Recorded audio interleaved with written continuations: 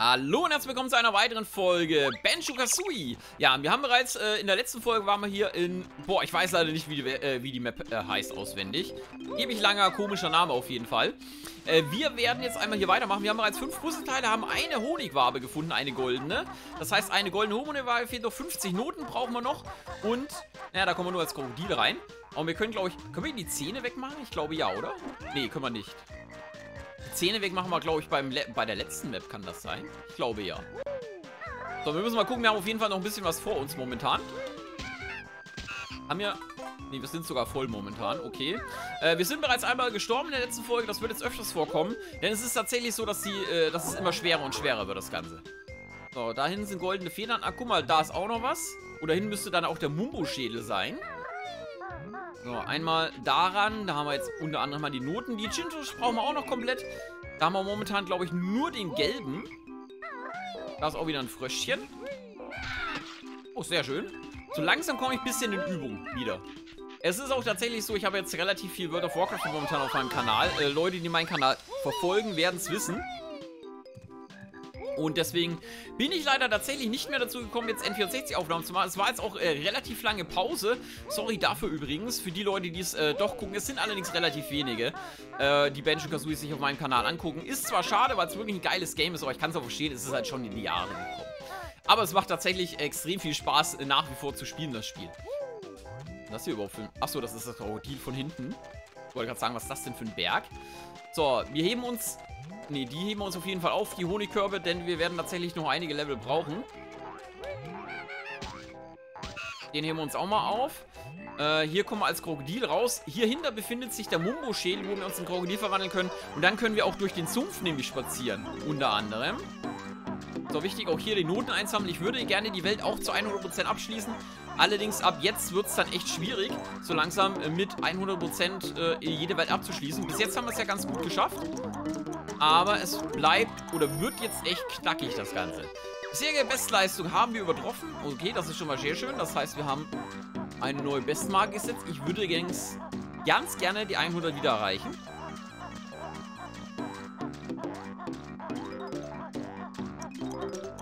Übrigens auch relativ unübersichtlich. Man kann hier die Kamera nicht drehen. Ah ja, und der Spaß. Hier ist nochmal so, also es gibt in dieser Welt zwei dieser Schalter. Hier erscheint das Puzzleteil auf der gegenüberliegenden Seite. Äh, und wenn man hier runterfällt, hat man verschissen und dann darf man den ganzen Mist hier nochmal machen. Das ist das bekloppteste Puzzleteil, was es gibt. Ich will es ehrlich gesagt gar nicht probieren. Es ist echt scheiße, weil man kann hier die Kamera auch nicht drehen.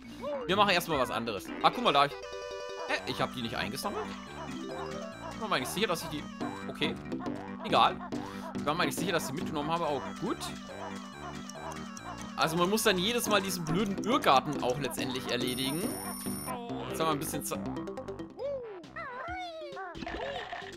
Wir sind tatsächlich... Ah, nee. Hä? Wir sind falsch. Man wird übrigens, was auch, was auch sehr, sehr geil ist, man wird in diesem Sumpf wird man langsam. Wenn man... Wir sind falsch gelaufen, müssen da lang. Äh, man wird langsamer im Sumpf und wird dann dauerhaft von den, äh, den Piranhas aufgefressen. Ist sehr, sehr cool übrigens. Man verliert unglaublich viel Energie in dieser Welt. So, übrigens, man kann leider auch keine Attacken machen, was auch natürlich super ist, wenn man hier verfolgt wird. Mit den Stiefeln kann man keine Attacken machen, man kann nicht ausweichen. Und man kann nicht treffen, weil ich nur die Kamera von oben habe und nicht sehe, wo ich hinfliege. Ah, es ist, ein, es ist eine wahre Freude. So, übrigens mit goldenen Federn. Ich hätte vielleicht die goldenen Federn verwenden sollen. Ist, ah, natürlich. Selbstverständlich. Normalerweise ist auch in den Augen teilweise noch einer drin. Da muss man auch aufpassen. Oder mal ein Puzzleteil. So, 10 Stück. Wir haben 22. Das ist nicht das große Problem. Guck mal, hier kann man auch wieder... Man kann auch wieder nach oben gehen. Eigentlich jedes Mal. Und findet dann hier normalerweise auch... Ah, guck mal. Die zweite Honigwabe. Die leere. Haben wir hier. Die nehmen wir logischerweise auch mit. Ist allerdings auch wieder... Ja, man sieht halt echt nicht, wo man hinfliegt. So. Wir haben wieder beide. Sehr schön. Ist echt nicht einfach. Oh, guck mal, was ist denn da? Ah, 23. So. Ohne Text diesmal. Interessant. Ah, doch, jetzt. Äh, du warten. Ich brauche eine neue Handtasche. Mumbo, Mumbo nur machen einen kleinen Spaß. Alles klar. Wir sind jetzt ein Krokodil, das heißt, wir können jetzt durch den Sumpf laufen, ohne dass wir von den Piranhas angegriffen werden. Äh, wir haben tatsächlich auch eine Attacke. Wir können schnappen mit unserem, äh, mit unserem Mäulchen. Wir können jetzt allerdings nicht das Puzzleteil leider hier machen, da wir keine Attacke haben, um den Schalter auszulösen. Ich bin mal gespannt. So würde ich es so würde ich es tatsächlich schaffen. Als Gro Okay, oder auch nicht. Außer wäre es auch schaffbar. Äh, ist da hinten irgendwo... Ist da noch was? Man muss auch tatsächlich hier durch die Gegend laufen, denn es ist leider auch so, dass teilweise das Zeug... Ich würde es nicht despawn nennen, aber nicht angezeigt wird. Äh, beispielsweise jetzt hier hinten, da müssten noch, glaube ich, Noten sein. Unter anderem.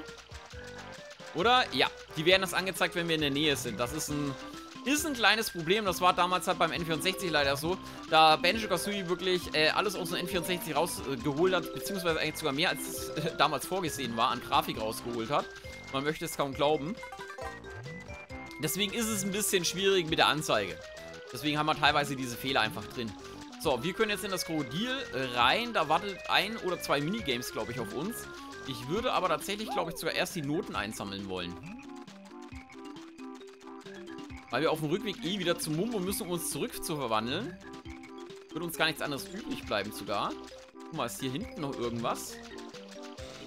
Gerne ist hier auch irgendwo mal noch ein Mumbo-Schädel versteckt. Wir haben zwar auch noch genug, aber würde echt gerne die 100% halten. So, guck mal hier, die goldene Feder können wir uns jetzt hier auch holen auf jeden Fall. Wir müssen einmal überall durch die ganze Map am besten eigentlich durch. Na. Weiter hoch kommen wir auch. Sehr schön. Neue Bestleistung. Da müssen wir nicht entlang. Hinterm Ei war, glaube ich, aber auch ein Chinjo. Hatten wir in der letzten Folge. Genau, und Noten sowieso. Wir müssen echt... Ne, nur Noten tatsächlich nur. Wir müssen tatsächlich überall lang. So, allerdings bin ich zuversichtlich, dass wir vielleicht doch die Welt zu 100% clearen können. Wenn ich nur mal zwischendurch sterben sollte. Ich habe keine Lust, nochmal alle äh, Noten einzusammeln. Das ist echt immer nervig. Bei Benjo Tui übrigens, den zweiten Teil, ist es anders. Da sind die Noten, die man eingesammelt hat, werden sich gemerkt vom System. Und man muss dann letztendlich nur die einsammeln, äh, die man äh, noch nicht eingesammelt hat. Ist wirklich sehr, sehr praktisch. Ah, guck mal, die goldene Feder nehmen wir auch mit. Wir werden es wahrscheinlich brauchen, nämlich. Wenn wir mal wieder nach unten fallen in den Sumpf, ist es tatsächlich sehr, sehr sinnvoll, sich den Schutzpanzer zu nehmen. Haben wir hier noch was? Rote Federn. Da haben wir noch ein Le... Ach komm, das Leben holen wir uns auf jeden Fall noch. Eier. Ah, der Chinjo, genau. Den brauchen wir auch noch. Eier brauchen wir nicht. So, drei von fünf. Ich höre da tatsächlich... Das sind Stiefel auf der, auf der Schildkröte, glaube ich, oder? In der Schildkröte selbst haben wir bereits alles mitgenommen. Da müssen wir eigentlich soweit fertig sein. Oben müssen wir noch lang. Ja, das weiß ich. Hier müssen wir auf jeden Fall jetzt erstmal lang. Da haben wir rote Federn, die brauchen wir nicht. Weil jetzt kommen wir dementsprechend hier unten lang. Dann haben wir hier noch einen Shinjo. Frage ist, wo der andere ist. Wir müssen auch nochmal ganz nach oben hier, weil da oben auch Noten waren. wir müssen noch aufpassen. Au, guck mal hier, zwei Mumu-Schädel tatsächlich sogar. Äh, die Also wir werden trotzdem von den Gegnern angegriffen. Hier muss man ein bisschen aufpassen. Ah, guck mal, und Bencho-Leben haben wir hier auch noch rumliegen. So, wieder vier. Sehr schön. 76 Noten haben wir. Äh, da fehlt noch Noten. Ja, die nehmen wir auch logischerweise noch mit. Müssen wir uns dann nochmal ganz genau umgucken, dass ich alles eingesammelt habe. Haben wir da alle? Wenn ich nämlich am Ende eine Note vergessen habe, ich glaube, ja, 80 ist immer... Es sind normalerweise immer, ähm... Ja, ganze Zahlen, beziehungsweise... Na, jetzt stehe ich auch voll auf dem Schlauch.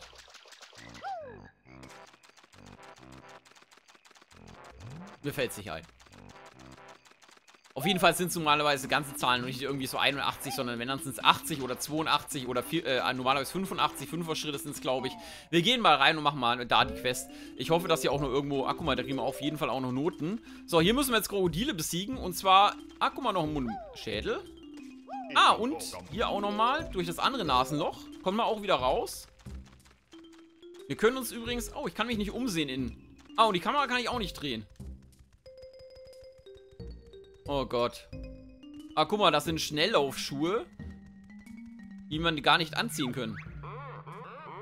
Hallo, ich bin Mr. Filet, das coolste Krokodil aller Zeiten. Äh, spiele mein Spiel und gewinne einen Preis. Lass mich raten. Drücke A, um zu spielen.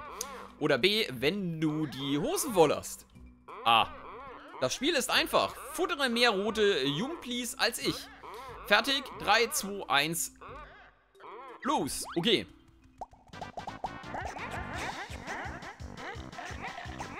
Aber wir müssen tatsächlich, äh... Okay, wir müssen tatsächlich B drücken jedes Mal, wenn, wenn, wenn wir so ein Vieh vor uns haben. Ich habe gedacht, man muss einfach nur drüber laufen. Nee, muss man nicht. Äh, übrigens, eine gute Taktik ist, ihm das Zeug hier vor der Nase wegzuschnappen. Das heißt, immer tatsächlich bei ihm zu bleiben. Das Problem ist, er darf dann nicht vor uns sein. Aber so kann man ihm dementsprechend ein bisschen zuvorkommen. 16.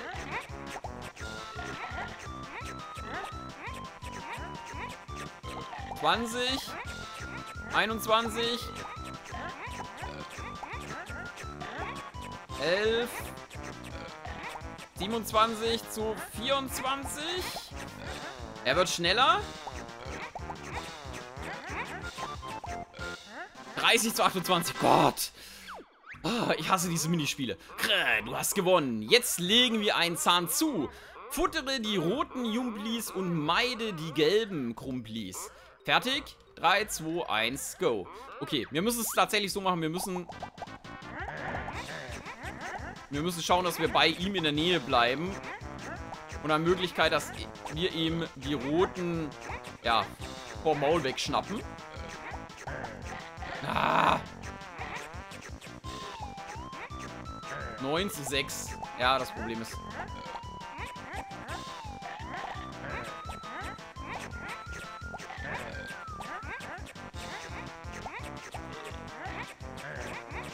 Wir müssen sie ihm wegschnappen, sonst wird das nichts. Nein, da kommen wir nicht.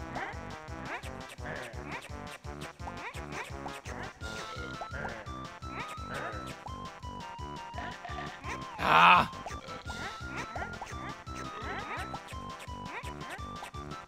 So, 20. Das Problem ist, er wird am Ende wird er nochmal äh, ordentlich schneller.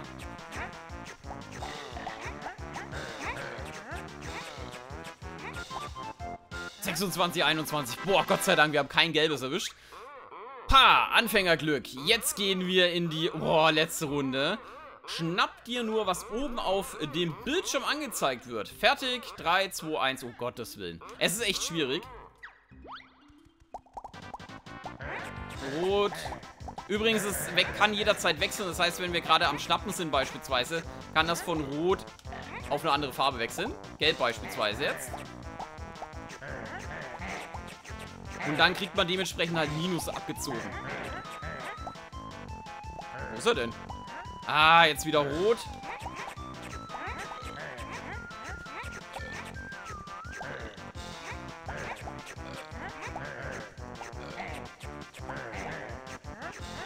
Rasengelber.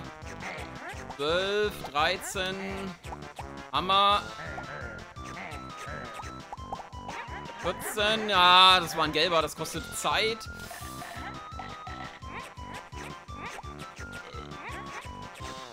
Achtzehn. Gelb.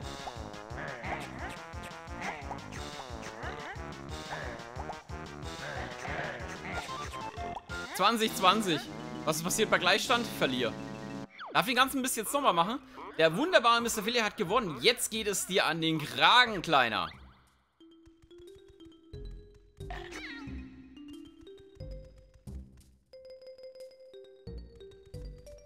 Nein, nochmal?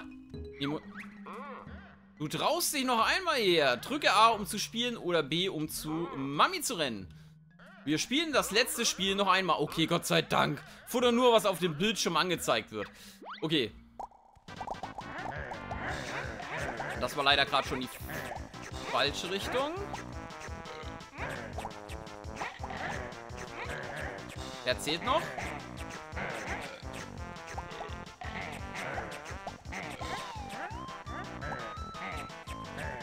So, 10 zu 7.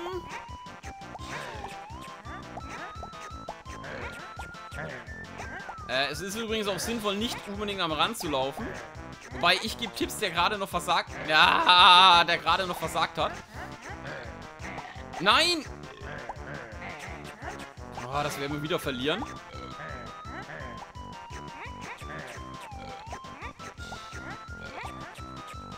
Zu sechzehn. Der war gut. 21 zu 21. 24 zu 22, Gott sei Dank. Wir haben es gepackt. Alter. Aber ich habe noch nie verloren. Du sollst deine Belohnung haben. Gott sei Dank. Wenn du magst, können wir ein ganz besonderes Spiel spielen. Du musst die nächsten drei Spiele gewinnen, um drei Extra-Leben zu erhalten. Aber jedes Mal, wenn du verlierst, schnapp ich mir eines deiner Leben. Drücke A, um zu spielen, drücke B, um die Fliege zu machen. Wir machen die Fliege. Ich brauche keine Extra-Leben. Du scheinst ein echter Hasenfuß zu sein. Sieh zu, dass du lang gewinnst. Ja, ja. Komm, lass mich in Ruhe. Das war jetzt schwer genug. Das, die Minispiele, also die, die Minispiele haben es mega in sich. Ich kann nur jedem mal raten, er soll es mal selber ausprobieren. Es ist echt nicht einfach. Okay, waren wir jetzt bereits überall und haben alles, was am Boden liegt, eingesammelt? Ich glaube, ja. Guck mal, da waren wir, da waren wir. Ich glaube, wir können bereits wieder zurück, oder? Wir gehen einmal auf jeden Fall noch nach oben und gucken uns da nochmal um, ob wir als Krokodil noch irgendwas machen müssen. Beziehungsweise, wir haben auch noch die eine oder andere Note, die wir einsammeln müssen. Wir haben jetzt noch zwei Puzzleteile, die wir so einfallen, also die durch die Schalter. Die wirklich aber auch extrem schwierig zu machen sind, finde ich. Oder hier wieder ein Schädel, 17 wieder. Reicht auf jeden Fall, 15 brauchen wir, glaube ich, für die nächste Verwandlung. Wenn wir in der nächsten Map dementsprechend sind. Wenn man hier übrigens Zeit hat, um die Kamera zu drehen, geht's eigentlich. Wenn man allerdings die Zeit nicht hat, ist echt schwierig. Ah, guck mal hier, der grüne Jinjo, dann haben wir das, glaube ich, auch. Dann sind es, glaube ich... Ne, es sind dann nur noch die Schalter-Quests, glaube ich, tatsächlich. Die drei haben wir... Sieben haben wir erst. Das heißt, es fehlt... Irgendwo fehlt noch was. Ach, die Krokodile. Richtig, mit den Eiern. Plus die zwei Schalter. Und fünf Noten. Na toll. Ah, das sind die fünf Noten. Oh. Ah, okay, wir kriegen... Äh, ja, wir kriegen auch Fallschaden übrigens. Als Krokodil, da muss man ein bisschen aufpassen. Okay, es sind tatsächlich die fünf Noten oben bei der Sprungplatte. Wir erinnern uns, die hatten wir äh, jetzt im zweiten Anlauf noch nicht. Und es sind diese zwei Puzzleteile mit dieser Geschicklichkeitsquest, die wir noch brauchen. Werden wir jetzt mal probieren. Ich bin ehrlich, wenn ich das mit der Geschicklichkeit nicht hinkriege, ich werde es jetzt noch ein, zwei Mal probieren, werde ich es höchstwahrscheinlich lassen. Denn es ist wirklich mega, mega nervig und anstrengend.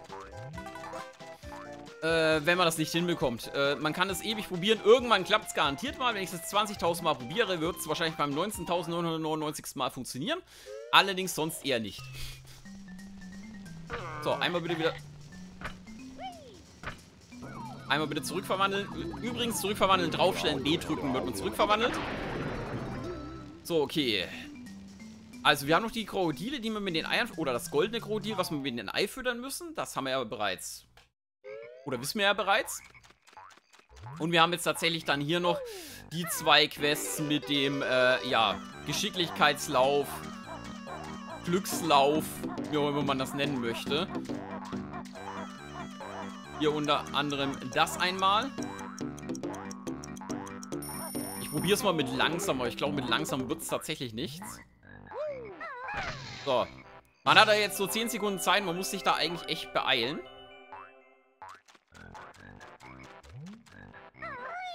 Und das war's schon. So. Dafür braucht... Dieser Bär ist nicht nur zahm, leider ist er auch noch lahm. So, das war's leider hier bereits. Okay, wir gehen dann einmal... Wir probieren mal das andere. Da kriege ich nicht ganz so viel Schaden, glaube ich, wie bei dem hier. Man kann übrigens ein kleines Stück, kann man logischerweise auch springen. Aber halt nicht so viel. Ich würde hier kurz mal noch auf jeden Fall, bevor wir ganz drauf gehen, hier erstmal wieder das Zeug mitnehmen. Die Honigwaben einmal auffüllen, nach Möglichkeit. Ich könnte auch jedes Mal zu Bottles gehen und da meine Honigwaben übrigens auffüllen. Das würde, glaube ich, ich glaube, der macht das immer, wenn wir zu ihm gehen. Problem ist erst am Anfang der Map. Ich müsste jedes Mal zum Anfang der Map laufen. Können wir mal ausprobieren. Falls wir zu viel Schaden nehmen sollten. So, wir gehen jetzt erstmal schnell nach da. Ich würde zumindest gerne die 100 Noten mitnehmen. Weil es sind jetzt bei 95. Die 5 Stück, die kriegen wir auch noch zusammen. So, und zwar, die waren hier dementsprechend drin. Das müssen wir nochmal auslösen. Dann sollten wir die Noten noch zusammenkriegen. Ich glaube doch zumindest, die waren hier.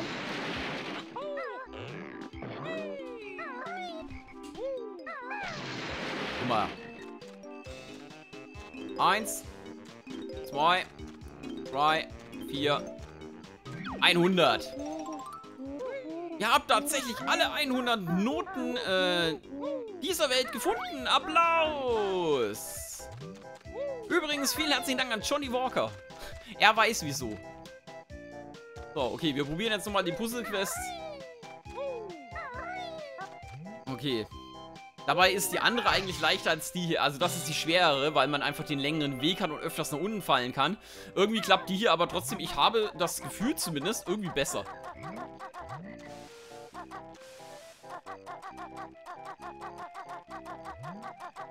So, und hier oben befinden sich übrigens dann auch dementsprechend die... Die Krokodil... Das war nichts. Die Krokodile. Ja, sehr schön. Keine Note, äh, kein Leben mehr abgezogen gekriegt. Gut, das müssen wir jetzt nochmal machen. Wir können auch zwischendrin mal die Krokodile, glaube ich, machen. Das nächste Krokodil war ja hier oben. Ah, nee. Es ist noch... Ah, es ist wieder am Anfang. Wir haben das am Anfang nicht ausgelöst. Wir haben das in der ersten Folge gemacht, wo ich zwischendrin gestorben bin. Die Krokodile müssen wir dann logischerweise auch jedes Mal wieder neu auslösen. Das haben wir noch nicht gemacht, so ein Mist.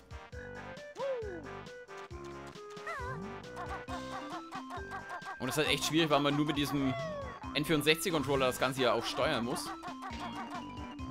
Gut, aber will mich ja eigentlich gar nicht so viel beschweren. So, Maul auf, sehr schön. Lecker, Croctus mag das.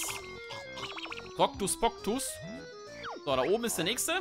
Ich will auch ein leckeres Ei. So, wir probieren jetzt nochmal, aber logischerweise dann auch... Uh, Kamera drehen und Lauf ist übrigens auch ein heikles Thema. Wir probieren jetzt nochmal das Puzzleteil. Ich hoffe, wir werden es irgendwann hinkriegen. Ich, wir waren ja schon... Wir waren wirklich fast dort. Das, am Anfang war mein bester Versuch. Mein erster Versuch, wo ich gedacht habe, komm, das schaffst du eh nicht. Nicht mal ansatzweise in die Nähe. Da klappt es dann am besten, wenn man nicht damit rechnet. So, hier man nachjustieren. Wir haben ja insgesamt haben wir eigentlich tatsächlich ein bisschen Zeit zumindest. Und es empfiehlt sich tatsächlich, die Kamera dementsprechend nachzu... Immer an der gleichen Stelle. Ja, wir kriegen jetzt gleich wieder eins abgezogen. Sehr schön. Zwei Leben haben wir noch. Gut, dann machen wir jetzt erstmal das Krokodilchen. Beziehungsweise... Wäre doof, wenn wir da nicht schnell vorbei Natürlich. Plus mit der Honigwabe. Das war es an der Stelle dann auch. So, kurzen Moment. Puzzleteil verschwindet wieder, beziehungsweise implodiert.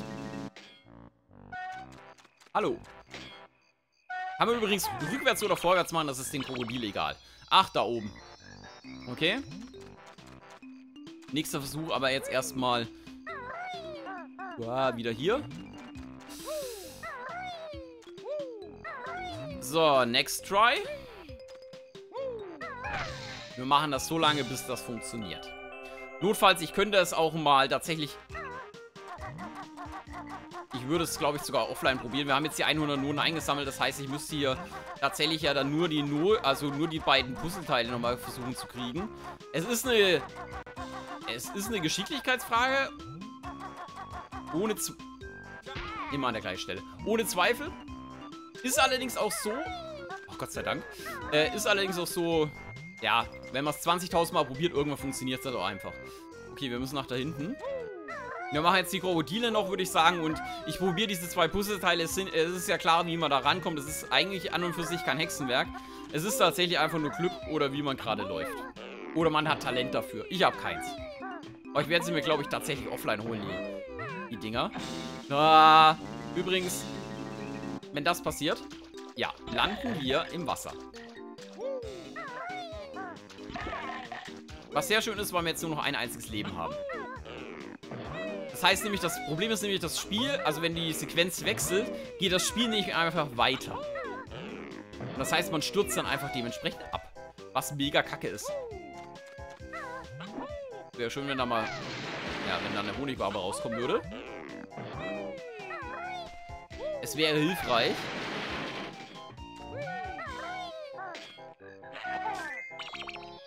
Ah, okay, vor dem Krokodil. Jetzt wird's spannend.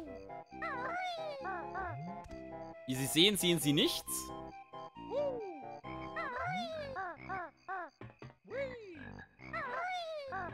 Oh, Gott sei Dank. Ich bräuchte irgendwo... Ich glaube, das ist es mir wert, oder? Das ist es mir tatsächlich wert. Drei, 2, 1, ja. Jetzt ist die Frage, probieren wir es oder probieren wir es lieber nicht? Ich glaube, wir probieren es lieber nicht und nehmen tatsächlich nur das Puzzleteil so mit. Äh, wo muss ich denn lang überhaupt? Ah, doch, hier hinten, glaube ich. Hier, oder? Ja, hier ist es. Wir nehmen tatsächlich boah, nur die Krokodile mit und lassen den Mist hier. Ich habe Angst, dass ich sonst drauf gehe. Äh, das war... Doch, das war hier hinten. Ah, da ist es doch. So, ich hoffe, das war das letzte. Nein. Ja. Nein, einmal noch. Okay, bei der Schildkröte, man sieht es ganz leicht am Rand. Hat man es gesehen? Wir müssen zur Schildkröte. Ne, die po... Na, oben den Bienenstock haben wir leider auch schon abgefrühstückt. Ich habe eigentlich nur Schiss, dass ich nochmal irgendwie ins Wasser reinfalle. Äh, da. Zwar links oder rechts. Das war offensichtlich die falsche Seite. Da ist die richtige Seite.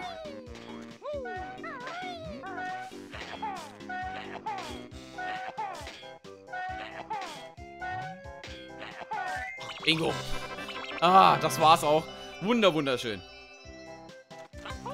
So, die Folge ging jetzt echt lange, aber wir haben es geschafft. Äh, wie gesagt, ich mache die beiden Dinger, versuche jetzt dann nochmal offline zu machen. Ich glaube, wir werden es nicht mehr hinkriegen. Wir können es jetzt noch einmal probieren. Wenn wir sterben, ist es relativ egal. Äh, ich... Ja. Okay, das war es jetzt dann sowieso. Wenn wir dann nochmal... Wenn wir jetzt dann runterfallen sollten, war es das nämlich. Wir probieren es jetzt noch einmal. Dann würde ich allerdings die Folge beenden und ich würde mir die zwei Puzzleteile tatsächlich dann im Nachhinein nochmal versuchen zu holen. Äh, wenn ich Zeit und Geduld habe. Ich habe momentan keine Geduld. Zumindest nicht heute. So. Ich würde zumindest gerne über die Stelle mal wieder hinauskommen. Das hier schaffen wir noch. Das hier auch.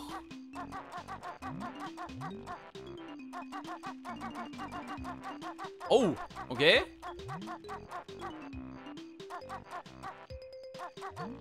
Nein, okay, das war's. Ich sollte da, glaube ich, den Lauf beenden und normal drüber laufen. Das wäre sinnvoller. Okay, wir probieren es oder ich probiere es nochmal offline. Vielen herzlichen Dank fürs Zusehen. Das war's für die Folge. Ihr kriegt dann in der nächsten Folge Bescheid, ob ich es geschafft habe oder nicht. Lasst mir ein Gefällt mir da, abonnieren, falls noch nicht abonniert. Bis zur nächsten Folge. Macht's gut.